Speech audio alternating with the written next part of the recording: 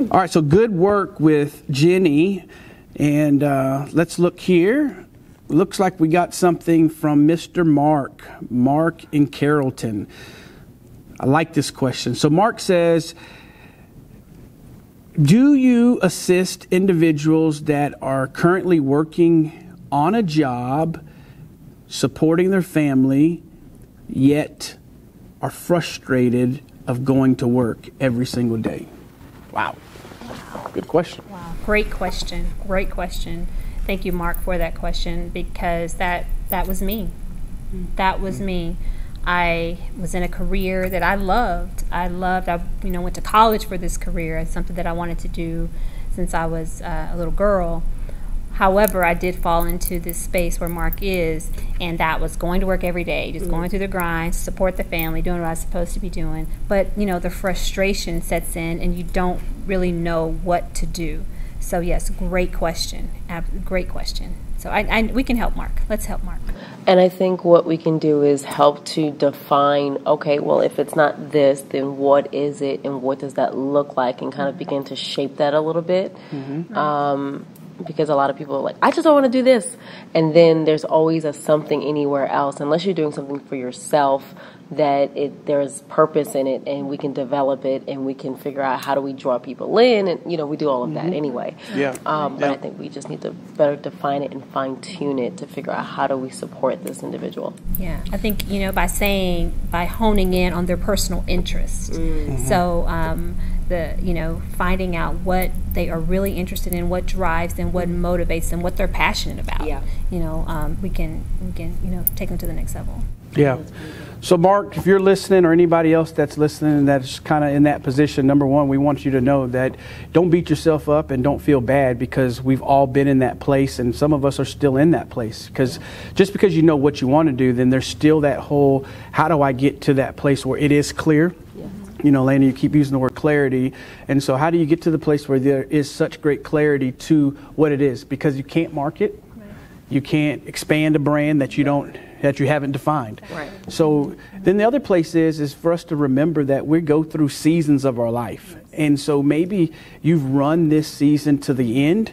And so we ought to high five you, Mark, because sometimes people are not even bold enough to shift and make transition because you are an expert in what you do on a daily basis, but you're getting ready to be a rookie again. yeah That is a whole nother topic, right?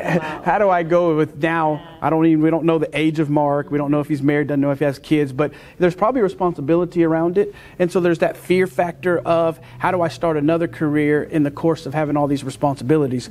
So there's a way to do it. You know, uh, the first thing I want to tell Mark is we want to make sure that you let today's investor speak and supply what you need for your dream. So, so take the resources that you gathered from your job and from what it is that maybe you saved, and let that be your starting place for what it is you want to birth, what it is you want to do, right? What it is you want to become. So we want to we want to utilize our resources in order to do that.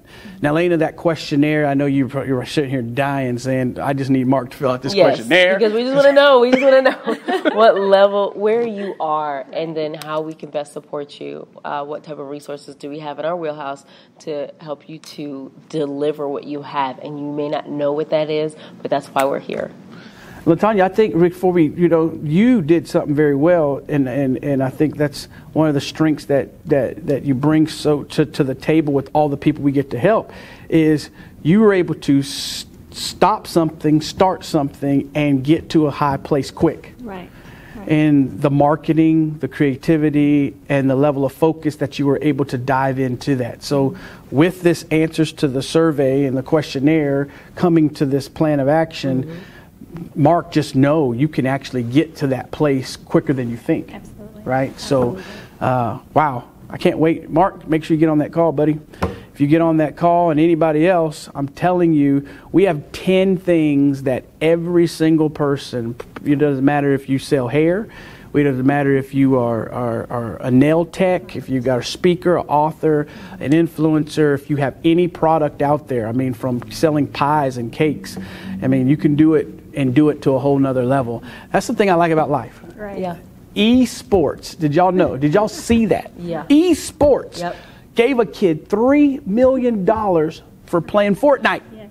Yeah. So that tells me this it doesn't matter what's in your heart to do, if we do it effectively and right, mm-hmm. you can make a lot of money. Well, I'm excited.